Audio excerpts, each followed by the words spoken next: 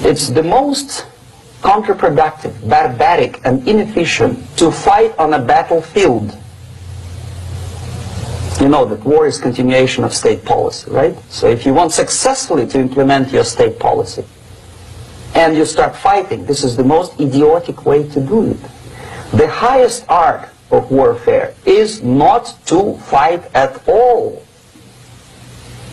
but to subvert anything of value in the country of your enemy until such time that the perception of reality of your enemy is screwed up to such an extent that he does not perceive you as an enemy and that your system, your civilization and your ambitions look to your enemy as an alternative, if not desirable, then at least feasible.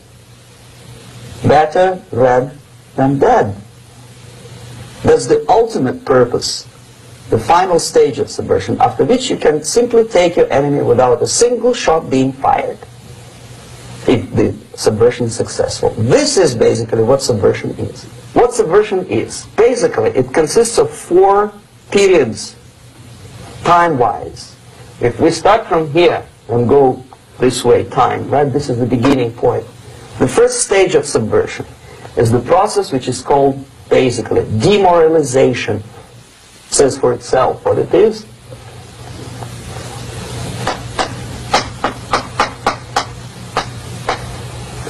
It takes from um, say 15 to 20 years to demoralize a society. Why, why 15 or 20 years? This is the time sufficient to educate one generation of students or children. One generation, one lifetime span of a person, a human being, which is dedicated to study, to shaping up the outlook, ideology, personality. No more, no less. Usually it takes from 15 to 20 years. What it includes? It includes influencing or by various methods, infiltration, uh, propaganda methods, direct contacts, doesn't really matter. I will describe them later.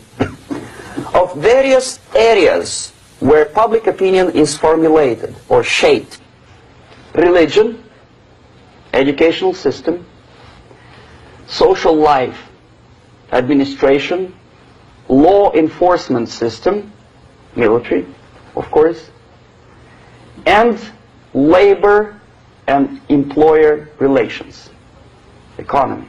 Okay? Five areas. Uh, I will not write them down because we will not have enough space. Some, sometimes when I describe all the methods, uh, students ask me question, are you sure this is the result of the Soviet influence? Not necessarily. You see, the tactic of subversion about which I'm talking is similar to the martial art, the Japanese martial art. If, you're, if some of you are familiar with that tactic, probably you will remember that if an enemy is bigger and heavier than yourself, it would be very painful to resist his direct strike. If a heavier person wants to strike me in the face, it would be very naive and counterproductive to stop his blow. The Chinese and Japanese judo art tells us what to do. First to avoid the strike, then to grab the fist and continue his movement in the direction where it was before, right? Until the enemy crashes in the wall.